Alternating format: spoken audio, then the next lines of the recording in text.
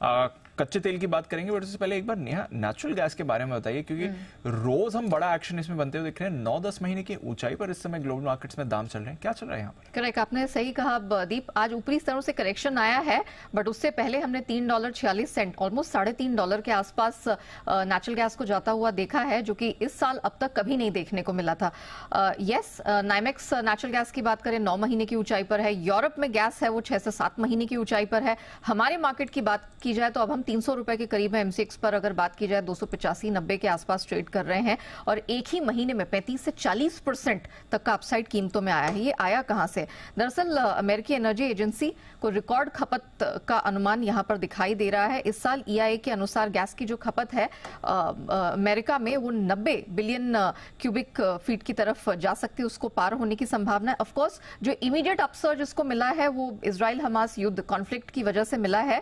आ, कुछ सप्लाई प्रभावित होने की चिंता है, क्योंकि शेवरॉन ने यहाँ इसराइल में जो उनकी टमार गैस फ़ील्ड है, उसको वहाँ की सरकार ने तत्काल प्रभाव से बंद कर दिया, जब ये वहाँ पर हिंसा छिड़ी तो एज अ सेफ्टी यही नहीं बाल्टिक कनेक्टर पाइपलाइन जो कि बाल्टिक सी से होती हुई फिनलैंड से एस्टोनिया की तरफ़ जाती है, उसमें लीक पाई गई है, और ये कहा जा रहा है कि शायद ये नेचुरली नहीं हुई है, ये की गई है कुछ गड़बड़ी तो अब वो पाइपलाइन बंद कर दी गई है तो बाल्टिक स्टेट्स के लिए थोड़ी दिक्कत यहाँ हो सकती है, क्योंकि महीनों लगेंगे उसको ठीक होने में।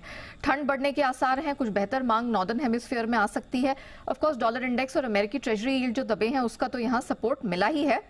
अमेरिका में गैस भंडार है वो आ, कुछ कम बढ़त दर्ज कर सकता है और यहाँ से डिमांड सामने अच्छी आ रही है। उत्पादन घट रहा है एक्सपोर्ट्स अमेरिका से काफ़ी ज़बरदस्त हैं।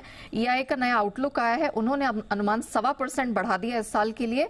Bank of America natural gas चार डॉलर तक जाता दिख रहा है मॉर्गन स्टैनली है हालाँकि उन्हें नहीं लगता कि इतनी स्ट्रेंथ आएगी पर फिर भी तीन डॉलर के आसपास ही वो कीमतों को टिकता हुआ देख रहे हैं। तो अभी कुछ फॉर्मनेस की संभावना है।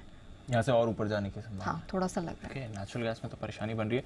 बट एक और इंटरेस्टिंग चीज़ हुई है नेहा कल सऊदी और रशिया के बीच में बातचीत हुई है और दोनों ने एटलीस्ट हम्म। कमेंट तो यही आ रहे हैं कि दोनों ऑयल मार्केट को स्टेबलाइज करने की कोशिश करेंगे। हम्म। ये क्या चल रहा है? दीप एक्चुअली यहाँ पर है ना लगातार वहाँ मॉस्को में एक एनर्जी कॉन्फ्रेंस हुई है और उसमें आ, कल ही नहीं आज भी बहुत वेरिंग कमेंट्स uh, निकल कर आ रहे हैं। तो पहले तो सऊदी ने कहा कि हम जितने भी यहाँ पर uh, तेल उत्पादक हैं ना सिर्फ़ ओपेक समूह के बल्कि जो बाहर भी हैं हम उनसे बात करके कीमतों को स्टेबलाइज करने की कोशिश करेंगे। फिर उन्होंने कहा कि यहाँ पर वॉलेटैलिटी नहीं होगी तो हम उत्पादन बढ़ाएँगे। फिर रशिया की तरफ़ से बयान आता है कि हमें नहीं लगता कि ये जो कॉन्फ्लिक्ट है इससे बहुत ज़्यादा रिस्क होगा हो सकता है कीमतें नीचे आ जाए। तो हम पल पल देख रहे हैं रशिया और सऊदी अरब ने कंफ्यूज करके रख दिया मार्केट को इसीलिए इतना उतार चढ़ाव दिख रहा है। बट नेवर अगर हम बात करें एकाएक जो करेक्शन हमने इस हफ़्ते की ऊंचाई से आता हुआ देखा 89 डॉलर्स के पास तक कच्चा तेल गया था हफ़्ते की शुरुआत में और वहाँ से नीचे आया है। सबसे बड़ा ट्रिगर तो जो कल ढाई परसेंट का करेक्शन आया वो ऑफकोर्स सऊदी और रशिया के बीच में जो ये बातचीत, वार्तालाप हुई है उसकी वजह से आया है। एक और चीज़ सऊदी अरबिया ने क्लियर की है कि नॉर्थ एशिया के उनके जितने कस्टमर्स हैं, उनके साथ जो उन्होंने कॉन्ट्रैक्ट नवंबर का किया है, वो उसे पूरी तरह से उस कमिटमेंट को निभाएँगे। मतलब वहाँ पर कोई भी उत्पादन में या सप्लाईज में कटौती कटौती नहीं करेंगे। तो ये भी एक बड़ा फैक्टर है कि वो अपने क्लाइंट्स को खोना नहीं चाहते, क्योंकि ऑलरेडी एशिया में रशिया उनका पूरा शेयर मार चुका है, देखा जाए तो। ईआई का short term outlook energy outlook आया है ग्लोबल तेल की डिमांड ग्रोथ घटती हुई दिखाई दे रही है। इस साल और अगले साल दोनों उन्होंने यहाँ पर अपने एस्टिमेट्स घटाए हैं।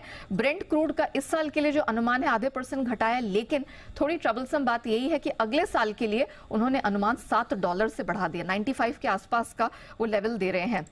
इसराइल हमास तनाव जो पहले लग रहा था कि आउटपुट को लेकर चिंताएँ हैं, वो अब इतनी नहीं दिखाई दे रही हैं, जो रिस्क की बात हो रही थी। तो उसके चलते भी हमने देखा है कि काफ़ी हद तक कच्चे तेल की कीमतों में यहाँ कूल ऑफ़ देखने को मिला है। रॉयटर्स ने एक, यहाँ पर एक पोल किया था, उसमें फोरकास्ट निकल कर आ रहा है चौरासी डॉलर का कच्चे तेल में। सिटी मानता है कि बयासी डॉलर का औसत इस साल में होगा और अगले साल आपको सेवेंटी के आसपास का औसत देखने को मिल सकता है। लेकिन जेपी मॉर्गन है, वो नहीं मानते। उनको लगता है नब्बे से 110 डॉलर दिखेगा और ईआईए ने तो जैसे मैंने कहा कि अपना अनुमान अगले साल के लिए बढ़ा दिया तो कच्चे तेल पर रखे नज़र।